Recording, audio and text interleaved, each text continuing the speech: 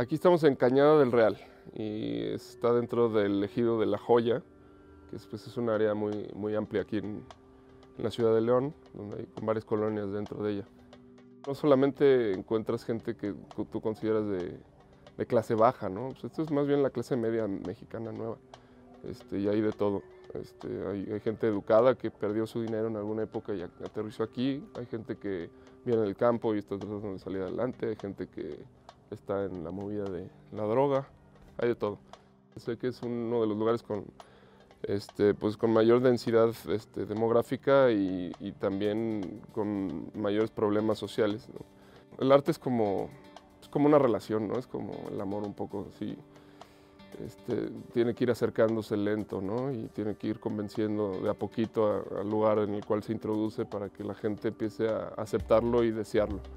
Este, y una vez que se hace esa relación, pues ya es un enamoramiento y es algo que hace que la gente se entregue y, quiera más, ¿no? Y entonces ahí es cuando se vuelve muy, pues muy hermoso hacer arte este, en sociedad, porque la gente, eh, pues básicamente se vuelve productora, no, no, aunque no te den el dinero, este, te ofrecen todo, ¿no? Te abren las puertas, te ayudan a que las cosas sucedan de buena forma, entonces, pues eso es, eso es lo que buscamos aquí, ¿no?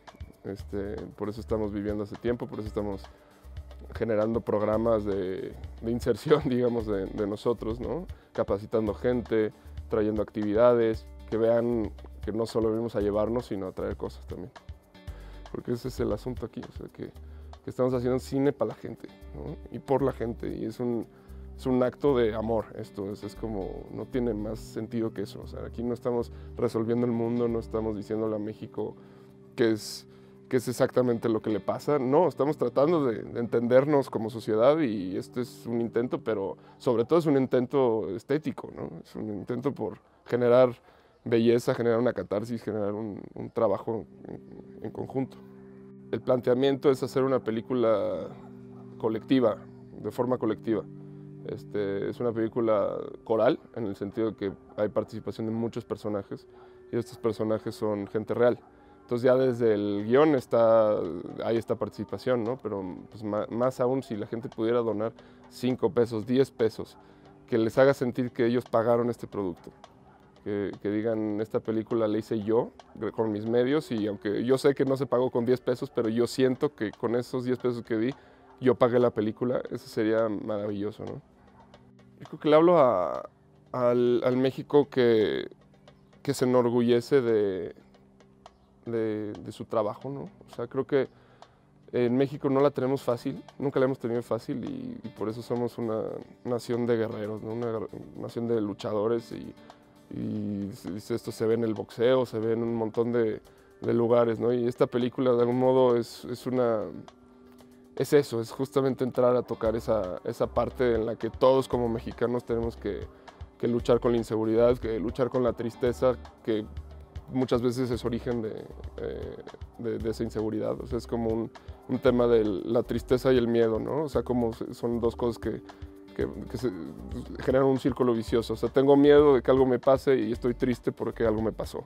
Y constantemente se alimentan una cosa de la otra, ¿no? Entonces, le hablo al mexicano que busca esperanza, en, en, el sentido de no de que va a llegar un día mejor, sino de, de sentir orgullo por lo que ya es que es una persona que lucha y que, que, busca salir adelante y sacar a su familia adelante y a su comunidad adelante. Pues Palacios de Bronce es una película de una familia que busca salir de un, un dolor muy grande, este, que se ha olvidado de sí misma, se ha olvidado de, de, de atenderse, este, porque han perdido, ¿no? porque han sentido esta pérdida y les está costando aceptar de vuelta lo que es la realidad. Entonces se refugian, se refugian en manías, ¿no? en cosas que nos pasa a todo el mundo, el celular, la distracción. Este, pero en algún punto la película les recuerda que, cuál es el camino ¿no? y que, que, tienen que regresar a, a ser una familia. ¿no?